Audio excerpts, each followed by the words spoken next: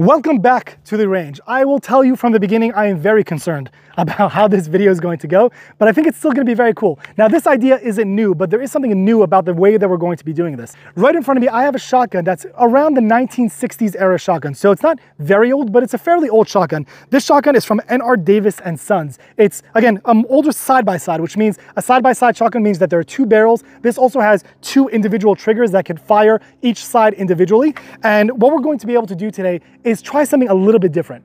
This is a 50 BMG, most commonly used like the Barrett 50 cal, which is a very, very powerful round. I'm not sure why God decided to make it that a shotgun round actually fits perfectly into a 12 gauge hole, but that's what we're going to be testing today. So this is the side-by-side -side shotgun I was telling you about. And again, this is a 50 BMG. This one's fake, so you can hear that it's not a loaded real round of ammunition. I'm going to put it in, you'll see how it fits all the way through. So we're actually gonna see how that's going to be able to see against the actual back of the firearm and see if it goes off. So again, this shotgun was purchased for 40 bucks and it hasn't been shot in quite a long time. So what we're going to do first, just to make sure everything's functioning, we'll put two rounds of 12 gauge birdshot just to make sure everything's running smoothly. And then after that, we're going to escalate to the 50 caliber round.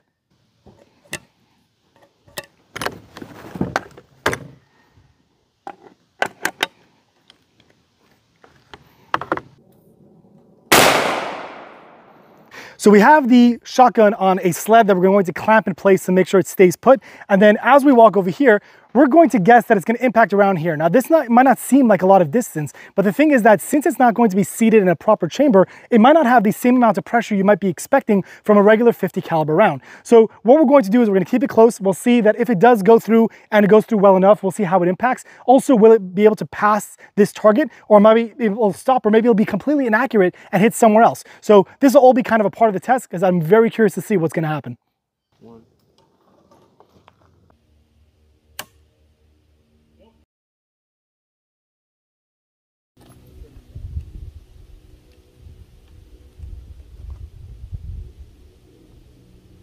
It looks like we had a decent primer strike. So after maybe six or seven tries, there were a few different issues that we came up with if, uh, with this shotgun. It turns out that the barrel on the shotgun, since this is potentially very, very old, was, I guess, worn to the point that the 50 kind of almost slid down the barrel as opposed to seating in place, which could be a result of multiple different things. But because of that, as well as also the impact of the primer, which might be a little bit squishy, it wasn't able to do a full penetration of that primer, causing it to actually fire. So we're gonna shoot it with a rifle.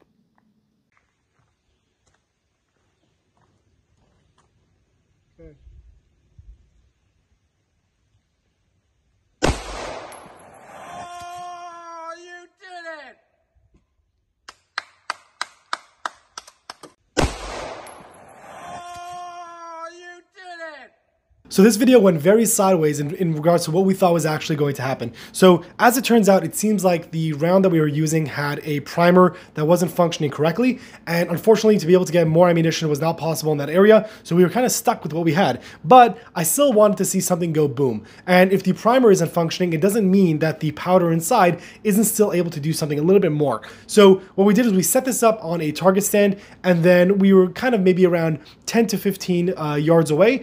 And I took a shot shot with my rifle just to be able to figure out the drop that I needed because this is obviously going to be a very small impact while it was still lodged in the barrel and we couldn't remove it. So we wanted to make sure that it would be kind of a decent impact to make sure that it would still fire. Um, we set it up, we took the shot, and of course, the closed camera angle that was going to be there, the, the camera overheated and it shut off literally right before the shot took place. So I have the last few seconds before the gun actually went boom and we missed the actual impact of the round. But what this turned into was a crazy different, different video where we were trying to even remove the casing to be able to see what it looked like. So at the range, we were kind of tapping at the top of the casing to try to see if we were able to remove it. And we kind of bent it inwards. We didn't know where the actual projectile was. We didn't know where the projectile that we shot into it was. And we were just trying to remove the casing to be able to see what actually happened. I ended up going to my friend's shop and we started trying to remove it. We had to use every tool available to try our best to not damage the casing so we could actually get a good look at it while also being able to go through the very thick metal and the very solid metal that the barrel is using to be able to actually get into it. So we actually see that it was able to fit very, very nicely. I'll try to show you guys that up close, but the bullet um, impacted the just low of the primer and it looks like it bounced against the actual side of the barrel and then went back into the barrel and then who knows where it actually went after that point. So that actually was very cool to be able to see. We ended up removing it, we polished it, um, tried to clean it up a little bit just to be able to get a good look and it's such a cool thing to be able to look at and be able to keep just as a kind of like a, a cool thing that happened in the video. So Ultimately, this didn't go exactly the way anticipated, but I think it was a very cool experience and cool thing to be able to watch and be able to go through. Also, being able to remove it by itself was a whole process in, in and of itself to be able to do. And uh, ultimately, we did get it out. Not really the results I expected. I do want to try this again. We do have a few other ideas of how we're able to make this go off, but unlike the other videos I've seen in the past with regular 12 gauge shotguns, this did not perform the way I thought, where you kind of just put it in in replacement of a 12 gauge round and it goes off as smoothly. Now, again, it could have been an issue with the primer, so I'm going to see if I'm able able to get more 50 cal in the future to be able to actually try it again and see if we're able to duplicate these results. Uh, maybe it was the shotgun that we were using. Um, again, maybe it was the ammunition, but let's see if we're able to do that again in the future. This is Raziel Cohen with ndftraining.com. Thank you for watching.